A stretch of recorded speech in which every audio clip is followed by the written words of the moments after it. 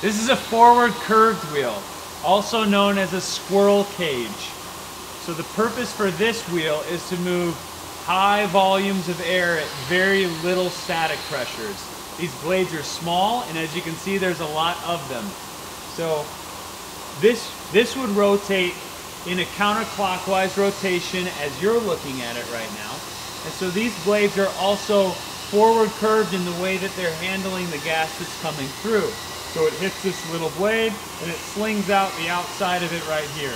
The most common application for these types of wheels is applications like an oven or a furnace, a large space that you're trying to keep air generally the same temperature within that space. This moves a lot of air, but it has very little static pressure to travel through.